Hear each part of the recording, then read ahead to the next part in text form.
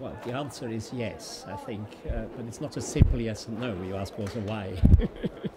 and I think we have seen over the past 10 years uh, when the discussions on internet governance started, uh, the internet was still very new for most governments, but now uh, it really is the backbone of economies, and it's only normal that governments take a big interest. And also the question should it all be left to the private sector, or is there need for government regulation? I mean, a lot of the regulation now is essentially contracts between the internet user and the big players on the internet. And is there there are privacy issues, for instance, and uh, their governments are increasingly interested.